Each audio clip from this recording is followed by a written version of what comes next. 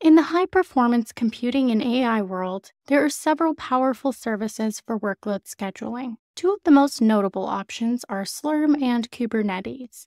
Slurm is an incredibly popular workload scheduler specifically designed for high performance computing or HPC and AI workloads.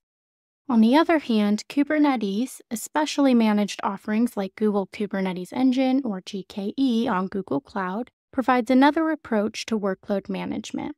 These services have different advantages, but what if you didn't have to choose between them? Today, we're exploring how to get the best of both worlds by combining these two services using a tool called Slinky. Slinky allows you to run Slurm on Kubernetes, enabling you to leverage the Kubernetes infrastructure while still benefiting from Slurm's powerful abstractions and scheduling functionality. Let's demonstrate how to set up this environment in a new Google Cloud project. First, we'll navigate to the Kubernetes Engine API to enable it. When doing high performance computing work, it's generally better to use a standard Kubernetes cluster rather than autopilot. Standard clusters provide a lower level experience, giving us more control. We'll choose a regional cluster to benefit from features like zero downtime control plane updates. To keep costs manageable, we'll configure one node per zone, though we'll slightly increase the size of these nodes. We'll use affordable E2 Standard 2 machines and leave the remaining settings at their defaults. Remember, we can always adjust these settings later if needed. Let's click Create to launch the cluster. Once the cluster is up and running, one of the easiest ways to interact with it is through the Cloud Shell or Cloud Shell Editor, depending on whether you need a full IDE environment. We'll use the gcloud command to configure kubectl to connect to our new cluster.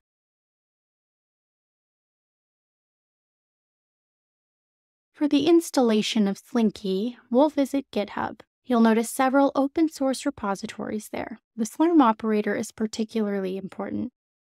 There's also a Slinky AI website where you can learn more about what Slinky offers.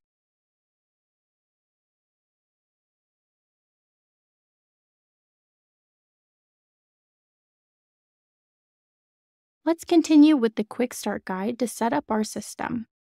We have several prerequisites that will all be installed using Helm, Prometheus for metrics and monitoring, the Kubernetes metrics server, and Cert Manager for TLS certificate management. We'll grab these commands and paste them into our terminal. Note that these installations will create their own namespaces. This installation process may take a few minutes. After the Helm installation is complete, we'll need to install the Slurm operator. But first, let's check on our Helm installations. Our Prometheus installation was successful, and our Cert Manager was also successful. It's a good practice to check the pods in those namespaces to ensure everything is running properly. We can see several Cert Manager pods running successfully, and in the Prometheus namespace, we have both System Prometheus components and node exporters set up. Now let's continue with installing the Slurm operator. We'll proceed step by step rather than running all commands at once. We'll download a values file because we might want to update some values. Let's examine this file to see what we can customize. This is a fairly large file, but it's just a standard Helm values file. The Slinky operator will be pulled from a GitHub artifact repository. The defaults are generally sensible, but you can adjust these values if needed. You'll notice it's using components like Cert Manager, but the main thing we're installing is the operator itself with one replica. This configuration looks fine, so we'll exit the file and run the helm install command using the values file we downloaded. This installation will create a new namespace called Slinky. Let's check what pods are being created in our system. We can see that the operator and webhook have started up successfully. Once we have the operator installed, the next step is to install an actual Slurm cluster. This uses the operator to set up a functional Slurm environment. Again, we'll download a values file and review it. As before, we probably don't need to modify any settings, but there are some considerations if you do want to make changes. For example, in the Resources section, it's a good idea to specify resource requests and resource limits to ensure our installation remains healthy. This Helm chart includes configurations for node sets. In the Compute Configurations block, there's a debug node set where we're specifying one CPU and 1 gigabyte of memory. We have a single partition for this Slurm setup, Interestingly, we're also setting up a SQL database, specifically MariaDB, for Slurm accounting. Let's proceed with this installation.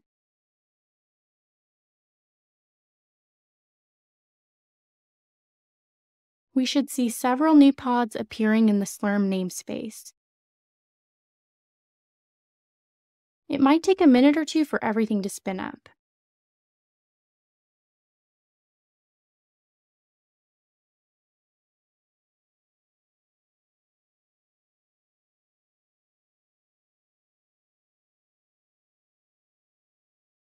Now our pods have settled.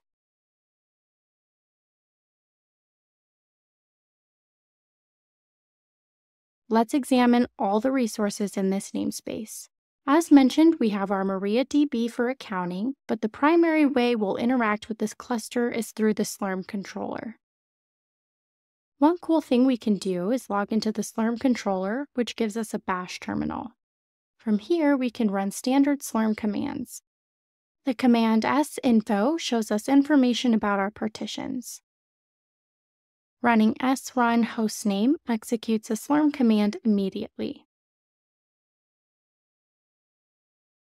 The sbatch command submits a job to the scheduler, and we can check the status of that job using the squeue command. We can see that the job state is initially pending. Let's open another terminal to monitor this we notice that the debug compute node is being used because we specified the all partition.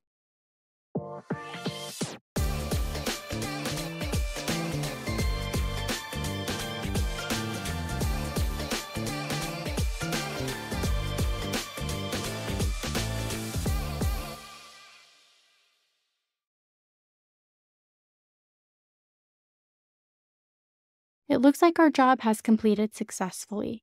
We can check the API resources to see what's available after our installation. We have several Slinky custom resource definitions, or CRDs, including clusters and node sets, both of which are namespaced. This means we have a Slurm cluster in the Slinky namespace and our debug compute node set.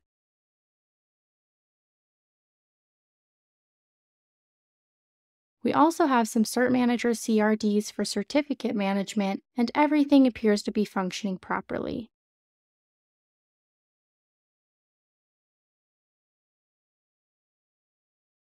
If we look at the logs for our single debug pod, we can see that it ran and completed some tasks. We can check additional details about this completed job, and if we want extremely detailed information, we can use the format equals all command.